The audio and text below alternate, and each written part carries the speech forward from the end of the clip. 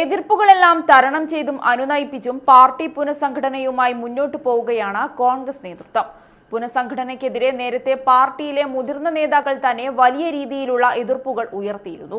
ഉമ്മൻചാണ്ടിയും രമേശ് ചെന്നിത്തലയും ഉൾപ്പെടെയുള്ള നേതാക്കൾ എതിർപ്പുമായി എ ഐ സി സി നേതൃത്വത്തെ സമീപിച്ചിരുന്നുവെങ്കിലും പുനഃസംഘടനയ്ക്ക് അനുകൂലമായ നിലപാടായിരുന്നു ദേശീയ നേതൃത്വം സ്വീകരിച്ചത്. മറുവശത്ത് പുതിയ നേതൃത്വം അനുനയ നീക്കങ്ങളും സജീവമാക്കി. എതിർപ്പുന്നയിച്ചവരെ ഒരു പരിധിവരെ സാഹചര്യങ്ങൾ പറഞ്ഞ് മനസ്സിലാക്കാനും സാധിച്ചു. ഇതോടെ പാർട്ടി പുനഃസംഘടന എത്രയും പെട്ടെന്ന് പൂർത്തിയാക്കാനാണ് കെ പി സി സി നേതൃത്വം തീരുമാനിച്ചിരിക്കുന്നത്.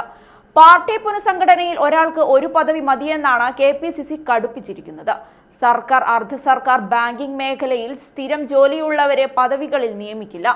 അതോടൊപ്പം തന്നെ തദ്ദേശ സ്വയംഭരണ സ്ഥാപനങ്ങളിലെ പ്രസിഡന്റുമാർ ജില്ലാ പഞ്ചായത്ത് അംഗങ്ങൾ എന്നിവരെയും ഡി സി സി ഭാരവാഹികളായി അംഗീകരിക്കില്ല.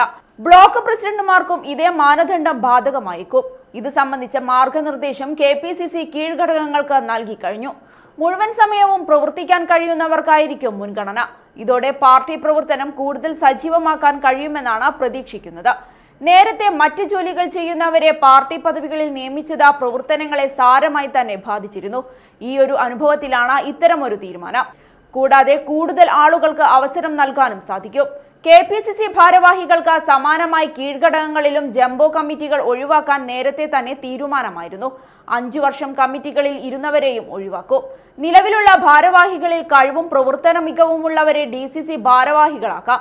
ഡി സി സി ഭാരവാഹികൾ എക്സിക്യൂട്ടീവ് അംഗങ്ങൾ ബ്ലോക്ക് പ്രസിഡന്റുമാർ എന്നിവരിൽ അൻപത് ശതമാനം പേരെങ്കിലും യുവജനങ്ങളും പുതുമുഖങ്ങളുമായിരിക്കണമെന്നും നിർദ്ദേശമുണ്ട്. സ്ത്രീകൾക്കും പ്രത്യേക പരിഗണന നൽകും. യൂത്ത് കോൺഗ്രസിൽ രണ്ടായിരത്തി പത്തിന് മുൻപ് പ്രവർത്തിച്ചിരുന്നവരും ഇപ്പോഴും സംഘടനയിൽ ഒരു പദവിയും ലഭിച്ചിട്ടില്ലാത്തവരുമായ ഭാരവാഹികൾക്കും പ്രത്യേക പരിഗണനയുണ്ടാവും. നിയോജക മണ്ഡലം പ്രസിഡന്റുമാർ ട്രേഡ് യൂണിയൻ രംഗത്ത് പ്രവർത്തിക്കുന്ന സംസ്ഥാന ഭാരവാഹികൾ ജില്ലാ പ്രസിഡന്റുമാർ എന്നിവരെയും പരിഗണിക്കും.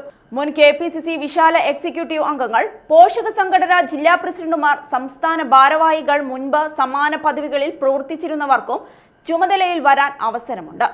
ജില്ലയിൽ കുറഞ്ഞത് ഒരു ബ്ലോക്കിലെങ്കിലും വനിതയായിരിക്കണം പ്രസിഡന്റ്. നിയോജക മണ്ഡലത്തിലേക്ക് വരുമ്പോൾ ഒരു മണ്ഡലം അധ്യക്ഷ പദവി വനിതയ്ക്ക് നൽകണം. രാഷ്ട്രീയേതര സംഭവങ്ങളിൽ ക്രിമിനൽ കേസിൽ ശിക്ഷിക്കപ്പെട്ടവരെ ഭാരവാഹികളാക്കരുത്. പട്ടികജാതി വർഗ പിന്നോക്ക വിഭാഗക്കാർക്ക് ഡി സി സി ഭാരവാഹികൾ എക്സിക്യൂട്ടീവ് കമ്മിറ്റി എന്നിവയിൽ പ്രാതിനിധ്യം നൽകണം.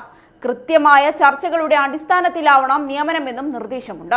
മാനദണ്ഡങ്ങൾ മുൻനിർത്തി ഡി സി സി പ്രസിഡന്റുമാർ മുൻ പ്രസിഡന്റുമാർ ജില്ലയിൽ നിന്നുള്ള കെ പി സി സി ഭാരവാഹികൾ എം പിമാർ എം എൽ എമാർ മുതിർന്ന കോൺഗ്രസ് നേതാക്കൾ എന്നിവരുമായി ഭാരവാഹി ചർച്ചകൾ നടത്തണം. പാനൽ തയ്യാറാക്കേണ്ട ചുമതല ജില്ലയുടെ ചുമതലയുള്ള K P C C general സെക്രട്ടറിമാർക്കാണ്.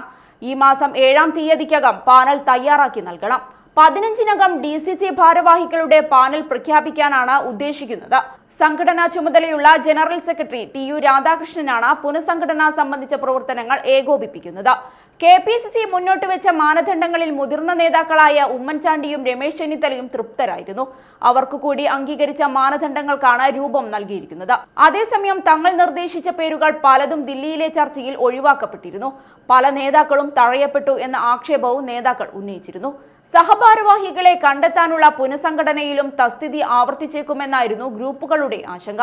അത്തരത്തിൽ സംഭവിച്ചാൽ പാർട്ടി പൂർണമായും തങ്ങളുടെ കൈപ്പിടിയിൽ നിന്നും നഷ്ടമാകുമെന്ന് നേതാക്കൾ ആശങ്കപ്പെട്ടിരുന്നു. എന്നാൽ എ ഐ സി സി നിലപാടിന് മുന്നിലും സതീശനും സുധാകരനും നടത്തിയ അനുനയ ചർച്ചകൾക്ക് മുന്നിലും ഉമ്മൻചാണ്ടിയും രമേശ് ചെന്നിത്തലയും വഴങ്ങുകയായിരുന്നു.